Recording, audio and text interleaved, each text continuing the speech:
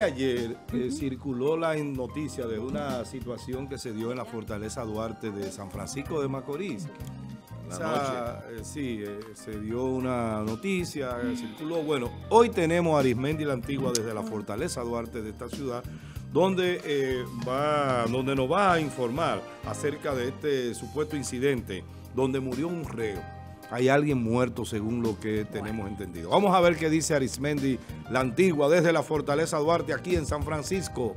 Adelante, Arismendi, buenos días. Muchísimas gracias. Asimismo es, en esta ocasión me encuentro en la Fortaleza Duarte de San Francisco de Macorís y vamos a escuchar las declaraciones de Félix Brito, quien es director de prisiones. La cabeza de las armas que fueron utilizadas para asesinar a esta persona de 10 disparos. ¿Usted tenía conocimiento de eso? De la cantidad de disparos estará determinándolo el INACIF ahora al llevarlo. Lo que sí les informo que en el día de hoy, desde la madrugada, estamos acá, desde temprano, ¿verdad? Eh, verificando un hecho en donde un privado de libertad con un arma de fuego le dio muerte a otro por una situación puramente o, de grupos o, algo personal, porque la expresión de motín realmente fue una situación entre, entre dos.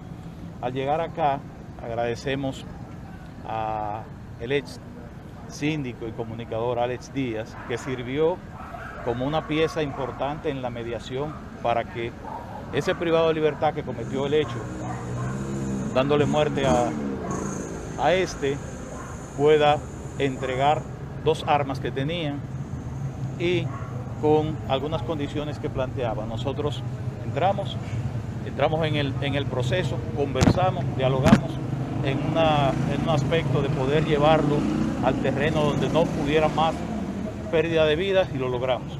Logramos, lamentablemente falleció en algo que antes de que nosotros llegáramos acá, pero logramos que esta persona depusiera la intención de seguir haciendo lo que había y lo que hicimos que es que él y un grupo de otros que le acompañaban en la celda fueron trasladados a otro centro de privación de libertad.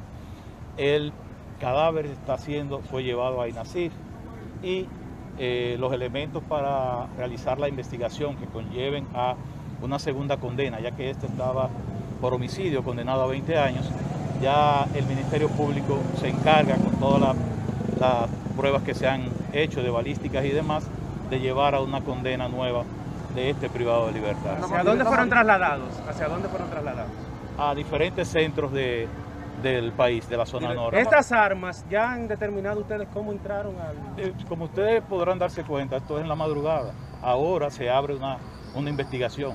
Que sepan ustedes que en el marco de la investigación que abre el Ministerio Público, cualquiera, lo que salga de eso, cualquier tipo de autoridad que tenga algún tipo de componente que se vea, va a llevarse las consecuencias de vida tal como estamos actuando en los actuales momentos. A partir de esto habrá cambios en la dirección van a, suspender, van a suspender la dirección, la dotación o, eh, o, a la alcaldesa que son parte de, lo que dan custodio a esta, a esta fortaleza.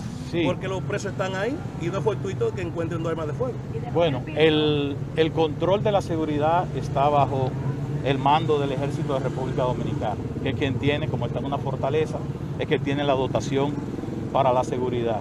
En, el, en la parte administrativa, que es la, alcaidesa y un secretario, cuando el proceso de la investigación avance y, diga, ¿verdad?, sugiera las, cuáles son las acciones a tomar, la investigación lo va a decir. Pero lo que debemos estar muy, muy claro, lamentamos el hecho, agradecemos la intervención, reitero, de, de Alex Díaz y lo que tratamos es de que este hecho llegue a ser investigado y que todo el que tuvo algún tipo de, situación, no diríamos sencillamente... Bien, escucharon ustedes las declaraciones de Félix Núñez, quien es eh, director de prisiones tras este incidente registrado en la Fortaleza Duarte de San Francisco de Macorís. Vale destacar que este establecía que no, fue, no, fue, eh, no se produjo ningún motín, sino una situación personal entre estas personas. Eh, la víctima mortal respondía al nombre de Fausto Francisco Capellán Guillén.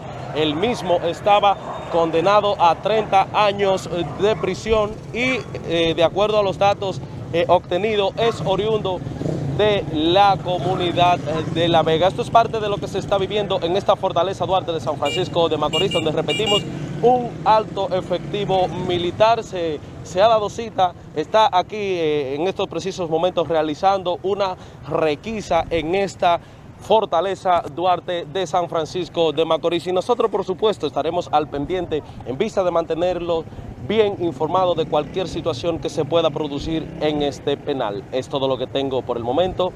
Yo retorno con ustedes al estudio. Bien, bien, muchas gracias a Arismendi la Antigua por la información, ¿verdad? Ustedes vieron ahí las declaraciones de Núñez, el director nacional de prisiones. Eh, hay que aclarar que este señor es director del modelo tradicional, no del nuevo modelo de gestión, porque hay dos sistemas eh, concomitantes en la República. Pero eso está feo, que en una fortaleza hayan cuatro armas. Bueno, vámonos a la pausa. Dios, te ve que hay que poner el botón de pánico.